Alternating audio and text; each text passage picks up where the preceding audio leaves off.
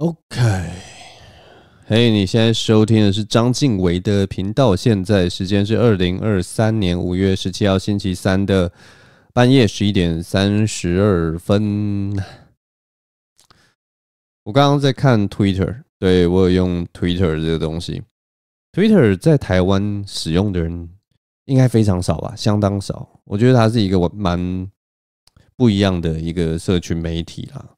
我多半呢，一般都是用，就跟大家很多人一样啊，就用 Facebook 嘛，然后后来就开始用 IG 嘛。那 Facebook 主要我觉得对我来讲比较有用的东西，就是我可以看到一些比较长的文章，有一些老的评论人，就然讲人家老的，就中年的，或者是我们这一代的，大概三四十岁、四五十岁的中年男子，会在 Facebook 发一些就是长的评论文呐。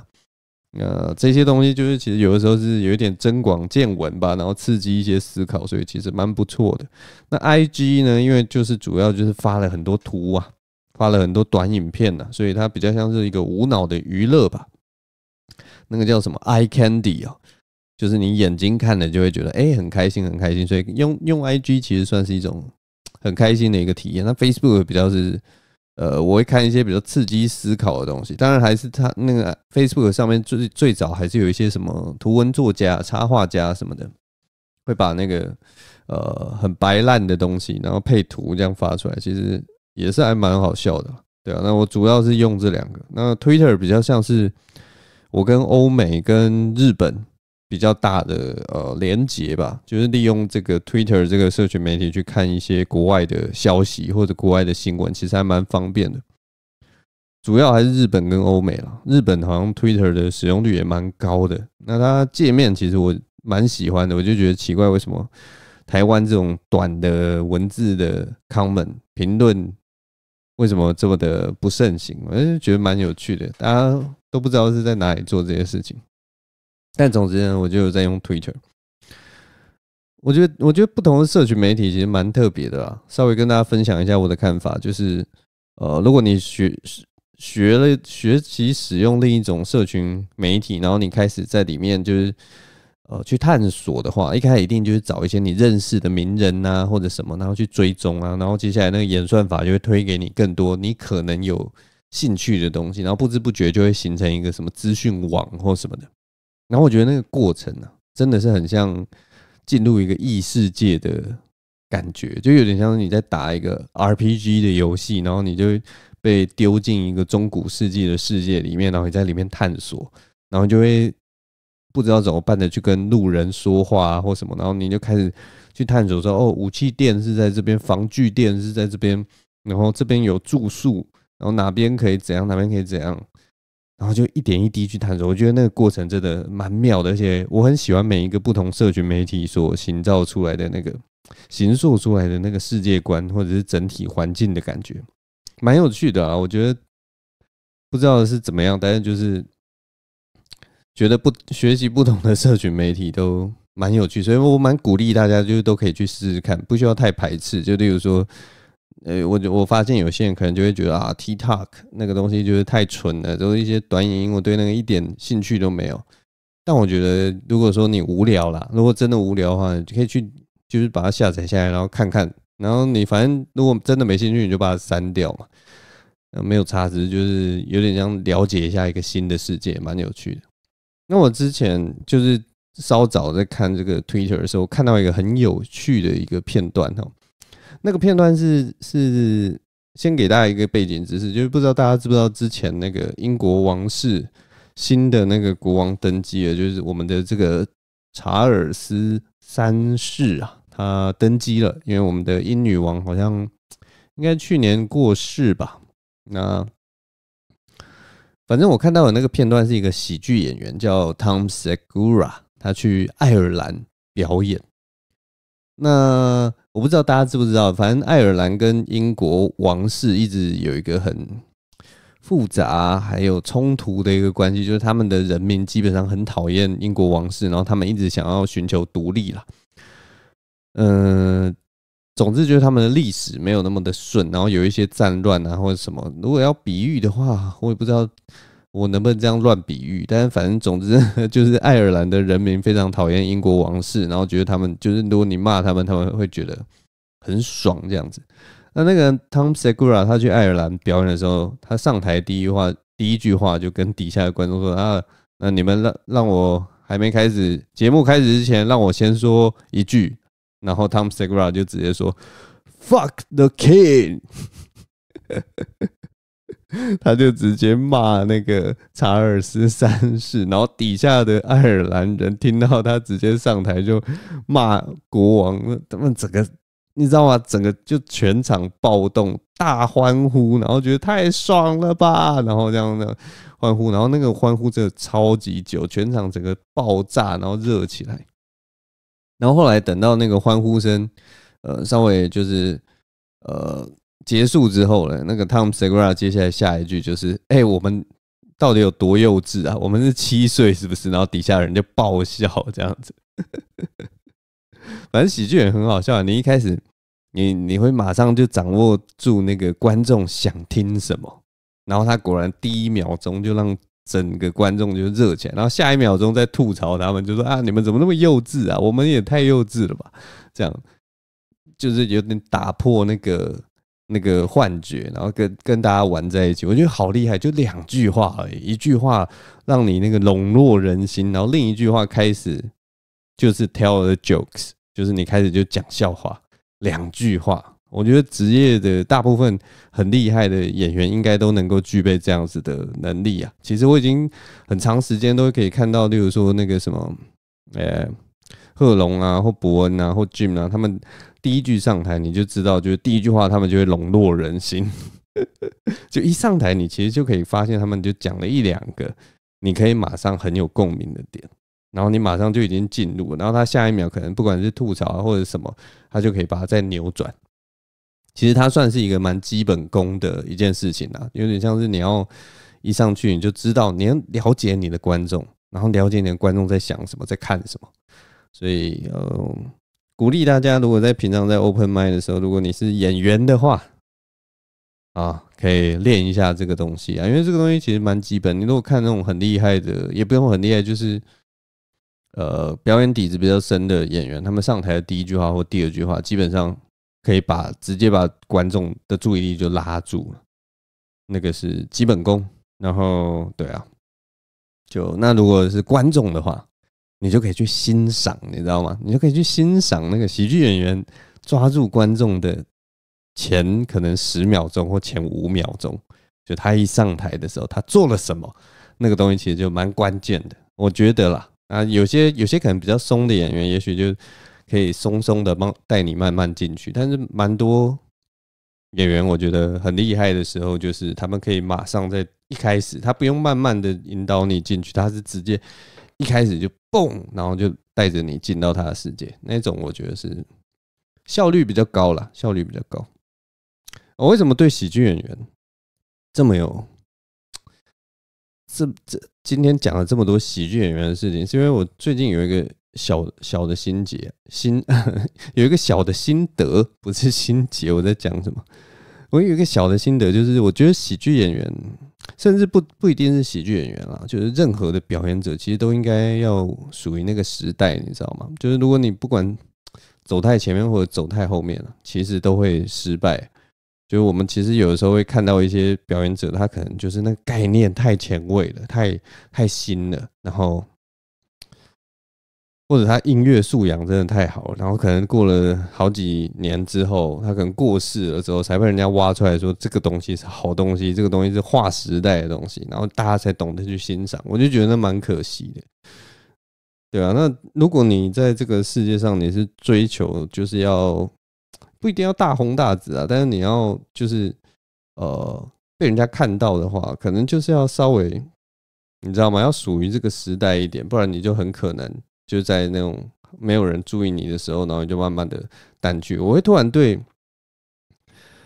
喜剧演员有这样子的感触，是因为我就是最近又在看那个什么，之前有推荐大家的那个什么鸟了了了不起的梅瑟还是麦瑟太太，呃，The Marvelous Mrs. Maisel 吧，好像是这个名字的一个美剧啊。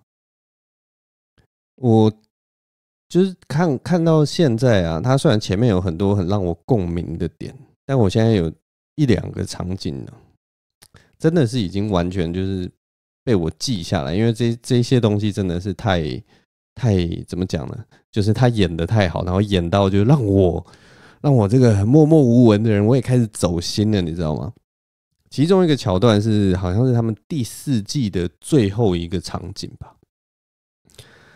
总之，那个场景就是麦瑟尔太太那个时候，她在她的演艺世界里，演艺事业里面，她其实是处于她的有一点类似低潮期吧。那那个时候，里面一个角色叫 Lenny Bruce，反正他是一个历史改编的一个人物。Lenny Bruce 在美国是一个家喻户晓、非常厉害的一个喜剧演员，然后他。就如果你你去看那个什么百大喜剧排行榜，他是前三名或前五名的人物，就是他可能就呃第一名是什么 George Carlin，第二名什么 Richard Pryor，然后接下来就是 Lenny Bruce，就这样，他是一个那个时候在那个时代非常属于那个时代很很有代表性的一个人物啦。就如果你从以前到现在都没有看过他或认识他的话，至少可以去了解一下这个。他为什么那么厉害？为什么他可以在排名里面排到那么前面？对吧？就可以稍微了解一下。那反正他在那个里面，他就跟那个麦瑟尔太太问一些事情。因为 Lenny Bruce 在那那出戏里面，他给麦瑟尔太太一个超棒的机会，那就是为一个什么大咖歌手可以帮他开场，这样帮他暖场。那对他来讲，这是一个绝佳的机会。然后他们在那个对话里面就有在讲说。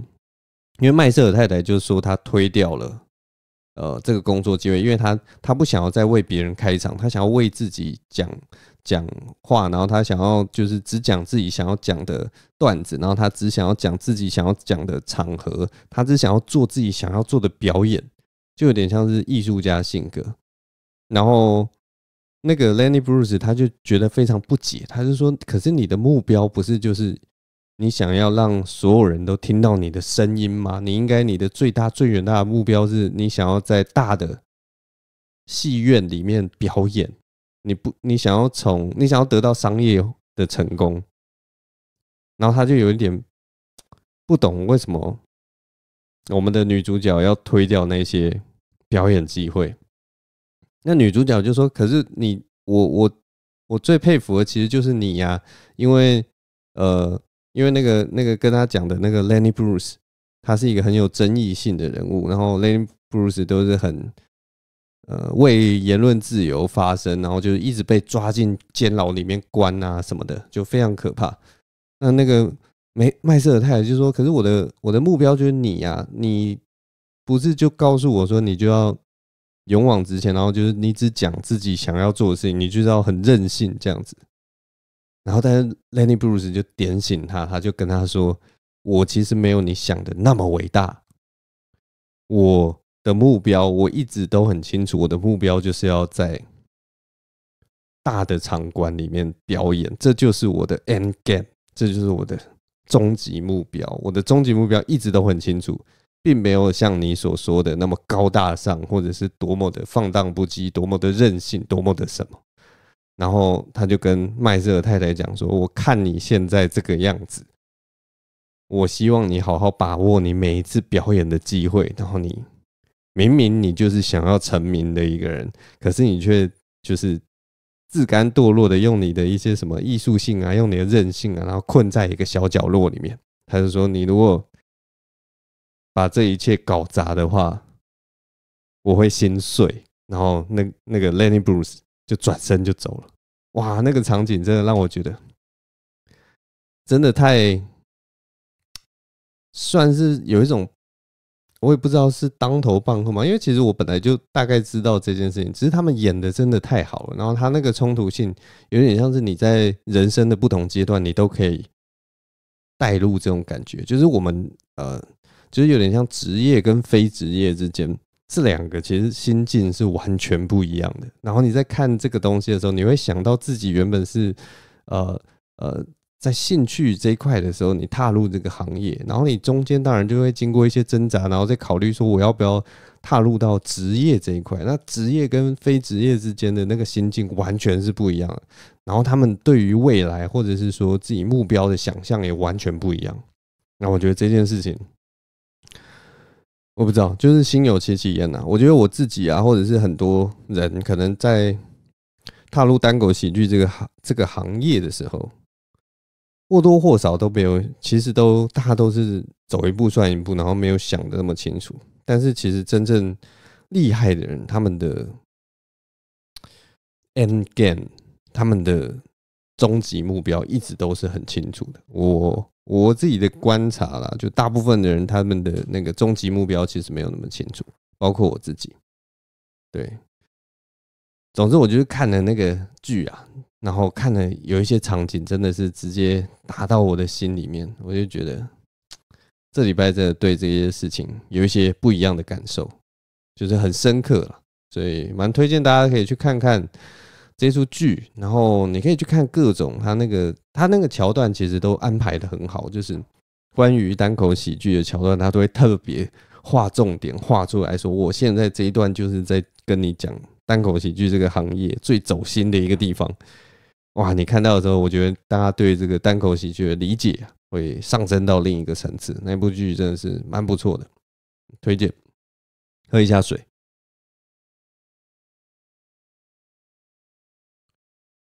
好，接下来来跟大家讲一下上周六的事情。好了，先跟大家交代一下好了，就是呃，我最近啊，每个周六都会跟一个另一个喜剧演员叫刘德楚。然后我们两个最近有在录一个节目哈，那我们采用的方式有点像是这样了，就是以前我们看了一个呃一本书，里面在讲一个深夜秀的他的那个回忆录还是什么的，反正他就是在讲说他们在拍一个深夜秀的时候，在那个深夜秀正式上上映之前，其实他们有练习过十几集，然后那十几集就练习完之后，他们就没有上映。那几集那十几集，就大家都有付薪水，然后也有呃用了各式各样的东西，然后都做的很完整的。但是那几集就是都是练习，全部都丢到垃圾桶里面。那我们有点像采用这样的模式，所以我们其实已经连续好几周的周六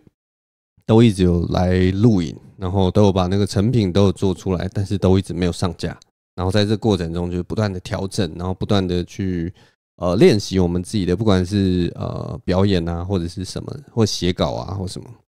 然后，因为也是因为我们以前主要的经验都是现场喜剧，然后就是现场都会有观众的那种情况。然后我们现在在做的是没有现场观众的东西，所以它势必有一些东西需要去调整啊，就是要适合 YouTube 的节奏，适合每个人在家观看的节奏。所以就我们也抓了一下子。那最近。一方面是这个，我们练习的时间已经有点太久了，早该早一点。丑媳妇总要见公婆，早该上架了。那另一个就是我们已经成品已经做到一定的样子了，所以就是接下来可能就是边做边学吧，或者是看大家的 feedback 怎么样。那这就是我礼拜六在做的事情。那另为什么要讲礼拜六？就是我们录完这个呃影之后啊，我晚上的时候去看了一个。很有趣的一个表演，那那个表演的名称叫做“三流笑话”。三流笑话是为什么叫三流呢？它不是不是不是很烂的意思，他的意思是有三个呃表演非常不一样的新演员哈。他们三个人因为他们风格完全不一样，所以他就叫三个流派。三个流派的笑话。那这三个新演员是品乔、兰恩跟华旭啊。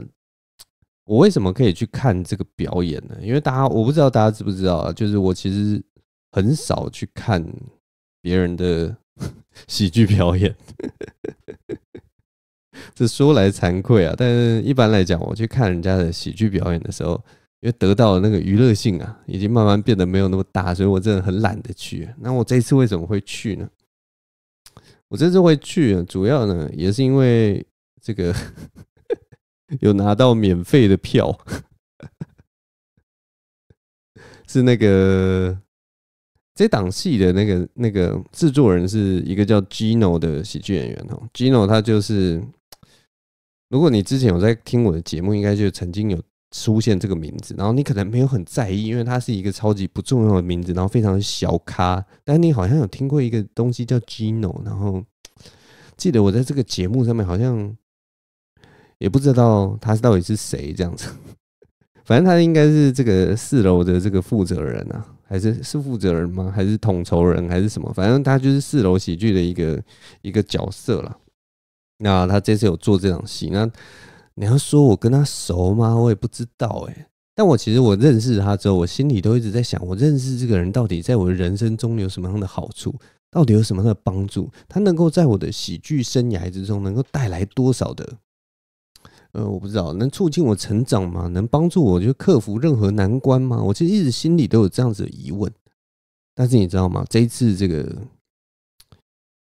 这次这个事件之后啊，我这个他完全就是打消了我这些疑虑啊，因为他送我了这个三流笑话免费的票啊，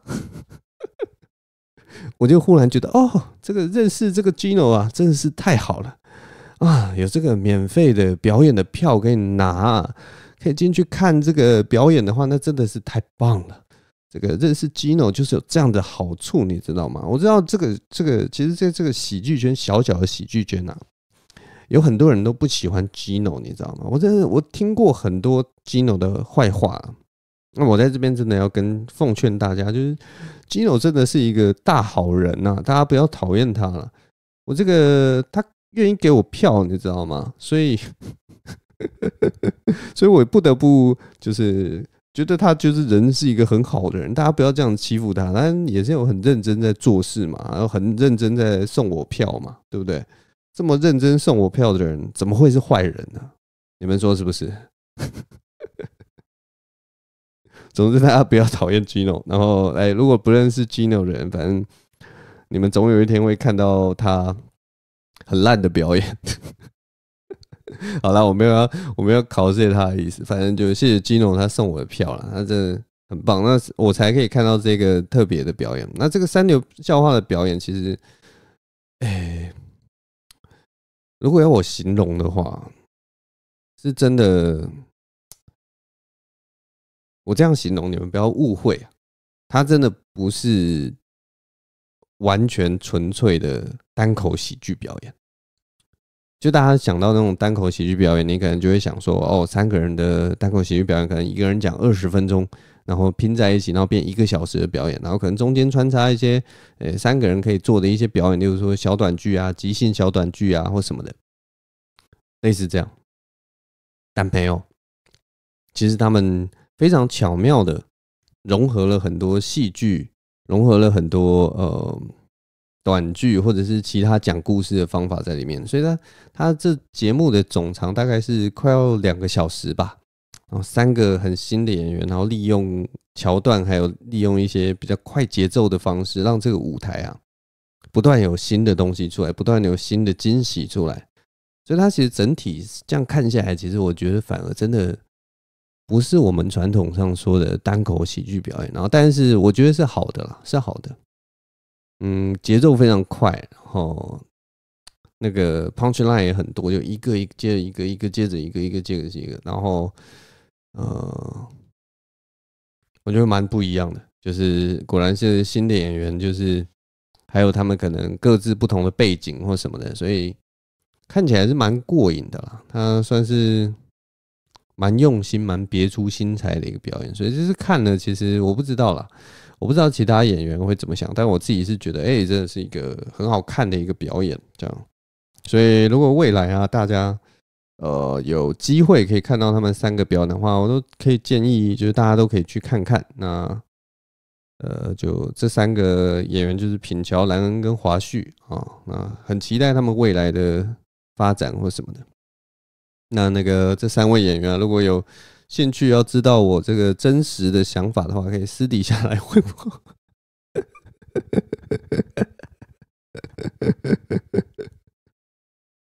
天哪，这样听起来真的超坏！就是啊，什么静伟，你刚刚前面讲的那些都是假的吗？没有啦，不是假的，就真的觉得还蛮不错的，对，真的很好看的一个表演了。大概就这样，我喝一下水。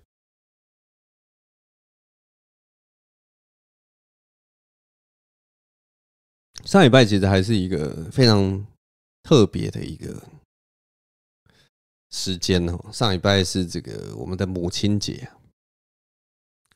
母亲节，Mother's Day。母亲节，我觉得不知道有每每年我我们家过母亲，其实没有什么在过母亲母亲节啊。我们家其实母亲节如果要过，通常都是吃个饭呐或什么，然后我可能包个红包就结束，因为。我妈其实蛮特别的，就是我不知道之前有没有讲过，我妈是那种她最喜欢的东西是红包，你知道吗？你送她任何东西，你不如送她一个红包，她最开心。当然了，如果你送个什么花啊什么，或者是送个什么小小饼干或者什么吃的，他应该也会很开心啊。但就是后来讨论到后来，就发现，哎，好像给钱最干脆，他希望他可以把这个钱，就是。拿去变成他喜欢的样子，好像这样最实际啊。因为其实我有的时候自己也会想说，哎，我生日的时候是 是不是别人不要送我礼物，别人包红包给我，搞不好还比较实际什么的。但有时候也会觉得说，哦，如果人家猜到你的心思，猜到你想要什么，然后买一个很实用的东西给你，你其实的的确也会比收到钱还开心啊。大概是这样。但是我我妈是真的还蛮喜欢看到红包的，所以。每年母亲节，其实我们就是吃个饭，然后我可能包个红包给我妈这样子。嗯，这就是我们的母亲节，非常的简单，非常的没有什么特别的。然后其实我觉得，呃，时间一久了，我觉得多多少少大家可能会忽略那个怎么讲呢？就真正感恩的心，你知道吗？就是。我也不知道为什么，这这是华人的东西嘛？就是我们很很不擅长表现出自己的情感。但其实我近几年，尤其在在大概三十岁之后，或者是说，我不知道这个感觉是什么时候，大概从二十五岁到三十岁之间呢，你会慢慢去反思，或者是它是一个过程，你会慢慢感感觉到，就是，哎，爸妈对自己的付出真的是蛮大的。这是我自己的心路历程啊，就是，诶，高中的时候，国高中的时候开始，好像会有一点不理解爸妈，嗯，爸妈也不理解我。然后到高中的时候，我自己有经历一些事情，然后觉得跟爸妈又更疏离。然后大学的时候，真的是完全是专注在自己的人生。大学的时候，就我觉得我大学的时候就像块海绵一样，从从十八岁一直到二十五岁，像块海绵一样，把把一直吸收各式各样的知识，然后看了很多电影。听了很多音乐，看了很多文学，然后呃学了很多东西。那段时间就是一个跳跃性的成长，然后读了很多思想，读了很多哲学，然后进行各种批判，还有社会一些事情跟我搞在一起，然后呃人际关系什么，反正各式各样的东西。大学时代一直到二十五岁都是一个非常密集的时间。然后后来当然就是出社会工作嘛，还有当兵嘛，然后去读研究所，然后还有一直工作嘛。然后糊里糊涂，冲冲冲冲冲，一直到现在。那我觉得最最重要的那个跟家人的感觉的那个关键点，应该就是在二六到三十岁这之间。那个时候会慢慢就是觉得，哎，爸妈好像真的蛮辛苦、蛮可怕的。哎，不是蛮可怕，蛮辛苦、蛮伟大的。然后，而且也就是那一段时间，过了三十岁以后，你会很急剧的看到爸妈。年纪真的越来越长了，就是年纪越来越大了，然后真的是体力大不如前，然后皱纹越来越多，呃，然后你身边有些人的爸妈可能较年长的，可能就开始慢慢的就是有些人开始跟大家说再见，开始跟这个世上告别，然后你就会去参加他们的丧礼什么的，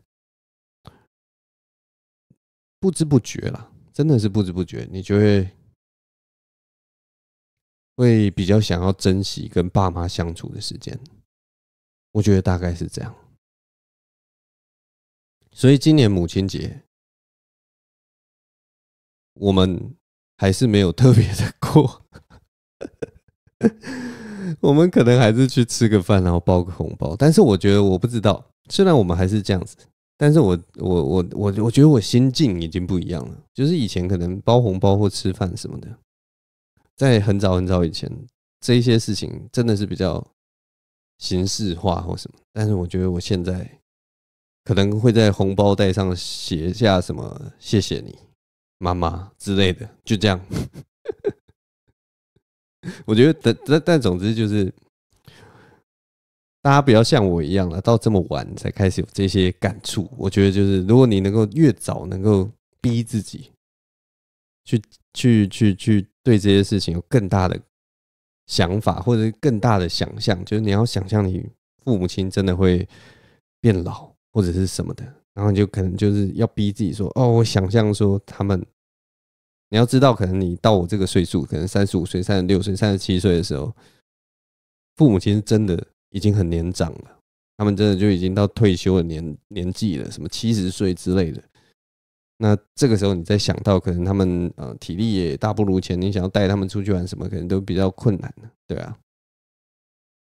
总之就是这样了，就是今年母亲节就是有这样子的感触，来跟大家分享。如果你还年轻，你爸妈都还很年轻，好好把握，然后呃。像我一样不会表达自己的话，就你就写五个字，什么谢谢你妈妈或谢谢你爸爸，这样就好了。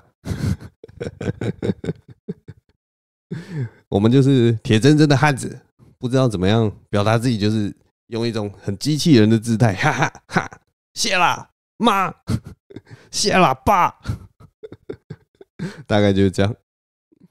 总之就这样了，对啊，那。除了母亲很伟大之外呢，我今年母亲节还有另一个想法，就是我觉得便利超商店员也很伟大。我因为我今年母亲节的时候，我就在想，母亲要感谢母亲，我们有一个母亲节嘛，就可以感谢她。我就想说，我们这个社会上是不是有什么东西是没有一个她的节日，可是她又很伟大的？那我左思右想，我就觉得。便利超商店员很伟大，应该要有个便利超商店员节，你知道吗？然后那个时候可能大家就是那一天特别都可以，每个人都要对你的便利超商店员，例如说竖一个大拇指，说啊你辛苦了，谢谢你这一年，明年继续指教。就可能五个字给他，谢谢你，超商店员。哦，这个是七个字，对啊，就应该有这样子的节日吧？应该有这样子的节日。他应该也是一个很伟大的存在吧？我我我不知道大家多常去便利超商，但是像我的话，我我我的账单都是便利超商店员在帮我刷的。然后我买的那些饮料啊，什么一次什么十几块、二十几块，你想想看，你买一个饮料十几块、二十几块，他为你做的服务，他能够拿到那一两块钱吗？他一定拿不到啊！你买的那个一一一罐饮料可能三十块，他可能。拿到你那一罐饮料三十块，他可能只拿到里面零点一块钱，非常微薄的钱。可是他为你做的服务，他呃笑脸迎人的面对你，然后就刷一下你那个，然后谢谢你，然后可能还还什么的，对不对？我就觉得便利商店员真的超级伟大了。我取货的时候，我我曾经遇过很多很亲切的便利超商店员了，我真的觉得他们很很伟大。我记得我以前就是年轻的时候，有一次半夜去买烟。那我这边虽然就是不鼓励大家抽烟呐，但是就是我也觉得说抽烟烟这个东西，它对我来讲就像是咸酥鸡一样，或者是像可乐一样，它对身体不好，我知道。但是就是我只要没有对它上瘾，我就觉得它只是一个消耗性的用品，所以我对它的概念是中立的。但是我不鼓励大家抽烟，因为抽烟基本上对身体不好。先决条件，先跟大家宣导一下，就我没有在鼓励抽烟啊。但总是我那个时候半夜去买烟，年轻的时候，然后我那个时候忘了买打火机，然后那个时间真的是很晚，好像是两点多吧，然后就没买打火机，然后我就走到外面，然后把把那个烟盒的包装拆一拆，然后真然后真要抽烟的时候才发现，哎呀，没买打火机，然后我就进去，然后就。另外，再再就是问那个店员说：“哎，那个我想再买一个打火机。”然后你知道吗？因为是我忘记带，所以打火机这个东西其实是一个消耗品的东西。然后我其实家里，我那个时候呃家里其实超多打火机的，然后就在想说，其实还蛮浪费的。然后其实我也没说什么，但是那个便便利商店员可能两点多吧，然后那个店里面一个人都没有，然后那个超商店员他居然没有要卖我那个打火机，你知道吗？他就直接跟我说：“你要抽烟啊？我有啊，不用买了。”然后他就拿着他自己的烟，然后走出来跟我一起抽烟。然后我原本你知道吗？当下是有点惊慌的，想说：“哇，这个便利超商店员该不会想要跟我聊天吧？”因为我。没有想要聊天或什么的，我只是想说半夜来抽个烟什么的。而且他就反正我就跟他一起走出去，然后很很有趣，就是他也没有要聊天，所以我们就他就用他那个打火机帮我点了烟，然后帮自己点了烟，然后我们两个人就无声站在那个便利超商外面。然后那天是一个还蛮凉爽的夜，然后我们就各自抽着各自的烟，然后我们中间还隔一段距离，我们不是站在一起哦。然后就这样静静的抽烟，然后我们就一起享受了那个大概两三分钟的时间。抽完之后，他就把烟，就是他抽很快，我们把烟碾熄，然后他就回到店里面。然后你知道，我不知道哎，那个那个是一个蛮浪漫的一个场景，就是他知道我只是想要抽个烟，然后所以他用他的打火机帮我点了烟。就这样，是一个很奇妙的一个小邂逅吗。然后而且最有趣就是他也没有想要跟我闲聊，因为一般人可能会想闲聊，但是他也没有。他可能就是如果要形容的话，他就是那天晚上的我的火之精灵，他就专门来帮我点火的，煽风点火的家伙。这是一个蛮有趣的。人生小片段、小插曲啊，跟你们分享。好了，今天节目大概就先录到这边啊。我也不知道自己在说些什么，总之大概就这样了。好了，今天就到这边，谢谢大家收听，我是张继伟，我们下周同一时间再聊聊，拜拜拜拜。